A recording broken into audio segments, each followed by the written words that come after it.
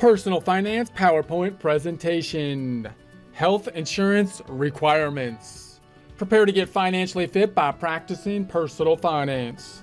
Remember that insurance is part of our long term risk mitigation strategy where we use the adage of measure twice, cut once. We're going to be putting in a formal plan which will look something like this. We're going to set the goals, we're going to develop a plan to reach the goals, we're going to put the plan in action, we're going to review the results, and then we'll go through that process again periodically. We're looking into the health insurance at this time. Most of this information can be found at Investopedia. Is health insurance mandatory? You can find that online. Take a look at the references, resources, continue your research from there. This is by Rebecca Lake, updated March 12th, 2021. Is health insurance mandatory? The Affordable Care Act, the ACA, signed into law in 2010, was designed to make health insurance coverage more affordable for Americans through the creation of tax subsidies while also opening up Medicaid eligibility to more low income individuals and families. So, when we're thinking about this question of is health insurance mandatory, it kind of ties into some of the discussions we've had in prior presentations and some of the more complexities we see in the health insurance as compared to other kinds of insurance. For example, if we looked at property insurance, we're usually insuring against some type of catastrophe happening to the property because the property has a significant value to us. We could re- result in a significant financial loss. We want to safeguard against, such as, for example, our home burning down in a fire. We hope that that doesn't happen, but we want to be insured against the risk that it could because it would be a significant financial event. You have a similar situation with one component of the health insurance in that you want to be safeguarding against some big catastrophe in terms of a medical event, which would have a significant financial component to it. But you also have this kind of pressure, especially from like government pressure, where they're trying to make it so that the insurance also covers the pre- preemptive kind of things, such as visiting the doctor and that kind of stuff, which makes it a little bit more complex, possibly in that way, than other types of insurance. And you've got this debate over how much of the insurance or healthcare in general should be private uh, kind of thing that's going to be market based, and how much of it should be uh, government run or should it be government controlled in some way, and or what kind of requirements might the government put in place to try to achieve the results we're looking to reach, achieve with regards to the healthcare. So when we're looking at whether or not healthcare is mandatory, we've had this debate recently. It's been going on for some time, in that if it w- if we were required to make healthcare mandatory, then we would kind of eliminate what's called the free rider problem from an economic perspective. So there's been debate about that because if, for example, you don't opt to purchase insurance, then you still have some minimal level of medical coverage or medical help available to you because if you go to the doctor and there's an emergency, you know, you're going to get some some kind of coverage generally and that coverage because there's no one paying for it or possibly no one paying for it in that event is covered by the people that are paying for the insurance or paying for medical coverage typically in the form of insurance and possibly higher prices. So th- those people are still kind of in the market in that instance. So the thought would be, well, if you could force everybody to be paying insurance in some way, you can kind of eliminate the free rider effect. How could you do that? Well, maybe you make a law saying that someone has to buy insurance, and you can possibly enforce that through something like taxes. The problem with that is that there's been debates about whether it's it's allowed, whether you can do that in terms of the federal government requiring you to buy something is that constitutional and what about the tax implications in terms of penalizing someone on a tax side of things when taxes are usually there to generate revenue not to try to try to manipulate people's behavior in general although you see that kind of being done in other places as well, trying to use the tax code to change behavior. So these are some of the debates, and then other debates are just about whether or not you know that will work. Will that increase or decrease market conditions? What will be the impact on the quality of the healthcare overall? So we've been seeing this kind of uh, play out uh, over the last few years. So the ACA over a long time actually. So the ACA, the Affordable Care Act, effectively made having health insurance mandatory, not having it meant that you would incur tax penalty. So again, they say we're going to eliminate the free rider effect. We're going to make everybody force everybody to have some level of health insurance, and that hopefully could reduce the cost because everybody would be covered, eliminating the free rider effect, and we could force it through possibly taxing people that don't have the coverage to force them to get covered.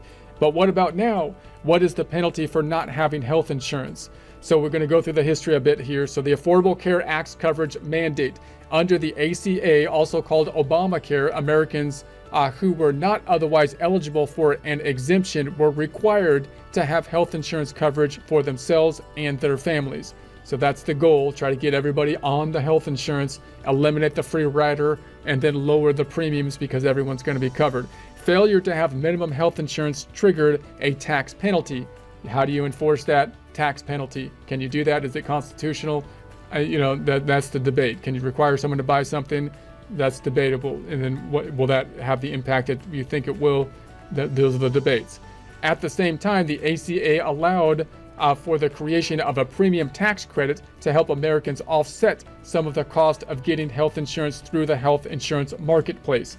So, as they put up the marketplace, they also had this credit because as you're forcing people to, to buy health insurance, they also want to make sure that the people that couldn't afford the health insurance, they're taking care of of them in some way as well because there's probably a reason that people didn't buy the health insurance because they couldn't afford the health insurance. So then now you've got the credit, which uh, it, it makes kind of sense from a financial standpoint, but also it gets somewhat complex when you're talking about the paying for the premium, the penalty, and then this credit from the marketplace. So this rule changed in January uh, 2019 when the tax penalty mandate for health insurance was eliminated. So then the idea was be was that well now it's kind of an abusive use of the tax code was the argument. You shouldn't be using the tax code to penalize people in that way. You should be using the tax code really to generate taxes so that you could pay for the military and the other vital kind of, of things there. So while the ACA technically still exists, Americans who choose not to uh, maintain health insurance for themselves or their family members in 2019 and beyond won't be penalized at tax time. It's estimated that as many as 4 million Americans will choose not to have health insurance coverage this year as a result of the uh, penalty being eliminated. So, state imposed rules on healthcare insurance. So, this is on the federal side of things. So, by eliminating the penalty, you basically you basically kind of eliminated the mandate because you can't obviously you can't have a rule saying you know don't don't do this unless there's an or else and you know so if you take away the penalty then you've basically eliminated you've kind of eliminated that component which kind of disassembles some of the the idea around trying to get everyone on to one health insurance because the point would be that you try to get everyone on the health insurance so that you eliminate the free rider that's what's supposed to lower the cost of the insurance. But that's at the federal uh, level then. Now we got the state imposed rules on health insurance coverage. So the states could do their own thing on the state side of things. While the federal government no longer requires you to have health insurance, a handful of states have mandates on the books regarding coverage uh, or are trying to pass laws to make health insurance mandatory. So on a state level, you can do a similar you, you could choose to do a similar kind of thing for a similar kind of reason. So the states that require coverage include california massachusetts new jersey rhode island and vermont.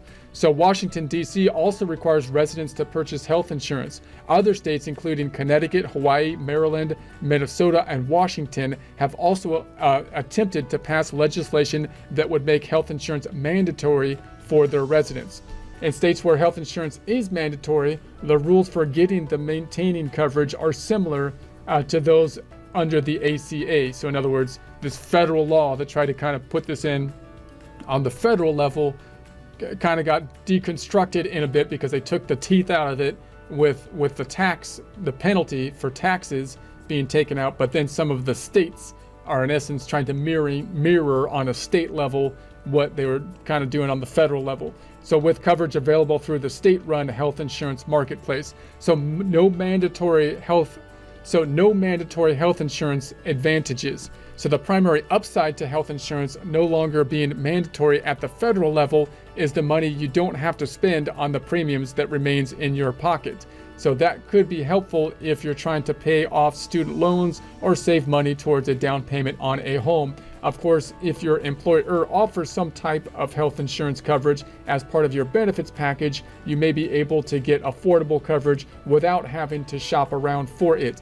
So, in other words, if it's not mandatory, then you choose whether or not you want the health insurance. The other kind of debate about this is that if you make the health insurance mandatory and you try to do that by basically standardizing the health insurance, you might lessen the variety of the health insurance, meaning, you know, certain, you know, certain health insurance companies might be more beneficial or be able to to find a niche in the market by offering health insurance that is specific towards specific things and not having to insure other, you know, have other kind of things that would be included in it. If you try to try to say we're going to have one size fit all health insurance over the whole country or something like that, or the whole state, and you eliminate some of that variety, then then again you can't really you may not be able to purchase exactly what you need, especially since health insurance, as we said, is a lot more complex than other types of insurances these days because they try to put in all these other things into the health insurance. It's not just insurance against some catastrophe that could happen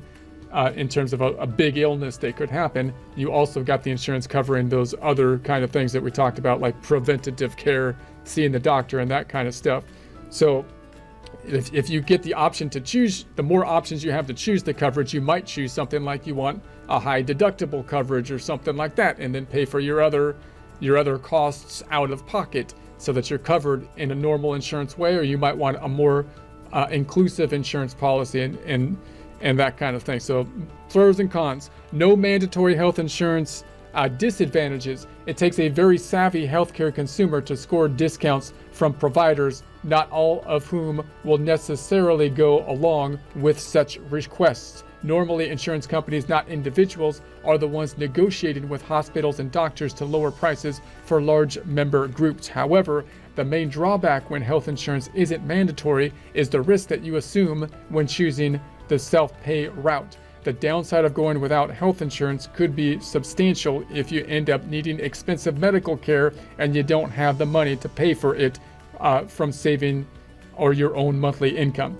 So clearly, just like any other kind of insurance, if you don't have access to the insurance, if you choose not to insure, then you can have a problem. It's harder to self insure for something like medical care because if you got a, a big illness, then you know clearly the cost would be way outside what most people could pay for, uh, even if you try to save up or, or have a self-insurance. But if you have the capacity, there's there's also this question of how much flexibility should insurance be provided? Could how could we set up the marketplace so different companies might offer uh, different types of insurances for different people who have different and different risk factors that would be available to them. If you could broaden that spectrum, younger people, for example, might opt for a higher deductible kind of situation and and they might be not as doing as much preventative stuff because they might feel that they don't need as as much of it at that point in time for example or you could pay out of pocket for for that kind of thing so the flexibility and what are the options are there is another kind of component.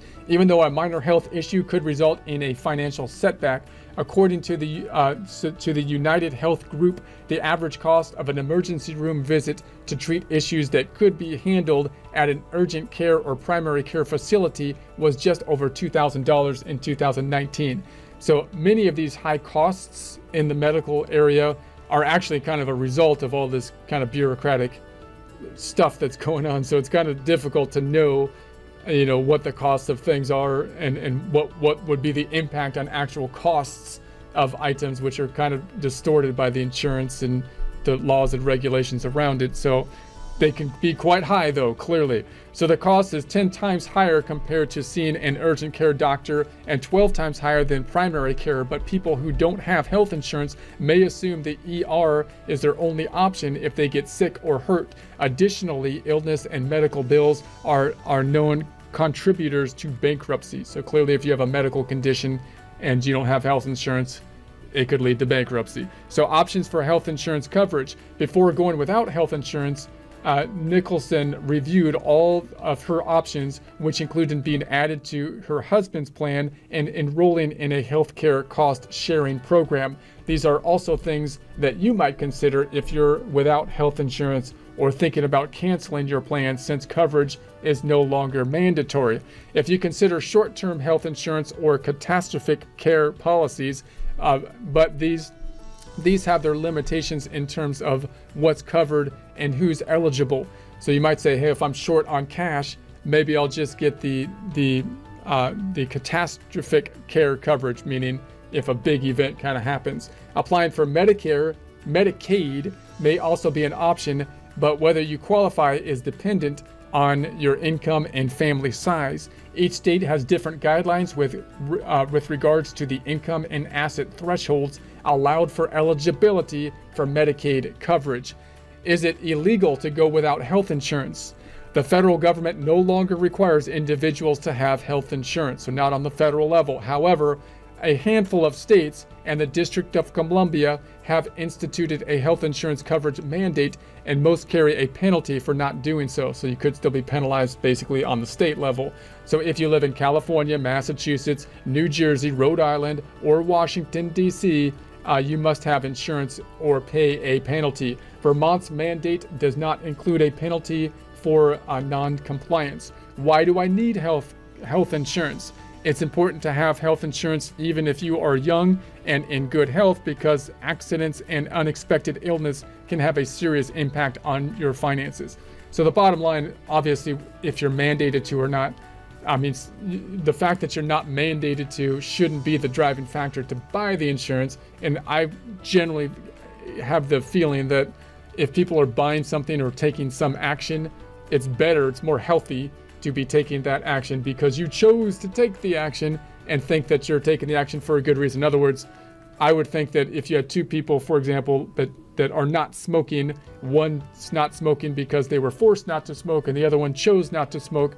The second one's going to be more healthy, right? They made a more healthy decision uh, in terms of doing it. The first one's just required not to do it. It makes them dumb after time, right? You're just following the rules without thinking about why the rules are there, the more the rules are actually taken away and they and you and you're showing the facts, that is a healthier decision making process generally, uh, in my opinion. So, for example, a broken leg can cost you thousands of dollars even if no surgery is needed. In addition, most health insurance uh, plans give you access to prevent uh, preventative uh, services like shots or screening tests for free.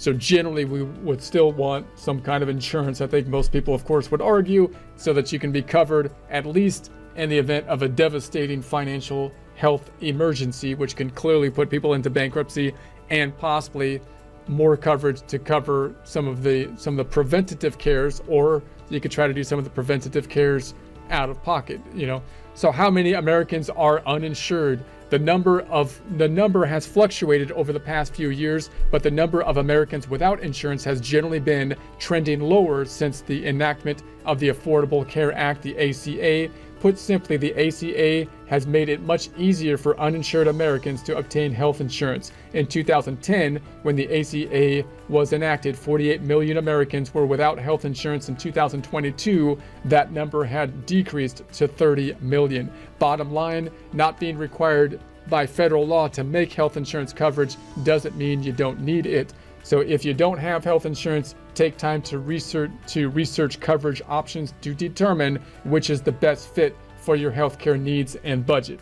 And I think that's a generally good rule, generally good bottom line. If you don't have, you know, generally everyone would want some kind of health insurance, typically at least health insurance that could be covering you in the event, you know, of a financial disaster and and then of course mitigate and look at your health insurance from there. Obviously, health insurance uh, is one of those areas. It's more complex than other types of insurance in many ways because of all the different variants that are involved in it because it has that long-term insurance kind of format against a catastrophe and it's got those other kind of components that could be there for the preventative care and because of all the regulations and options that are kind of involved as well that are attempting to make insurance easier and more affordable, but clearly have other effects as well, including making them somewhat complex uh, to understand.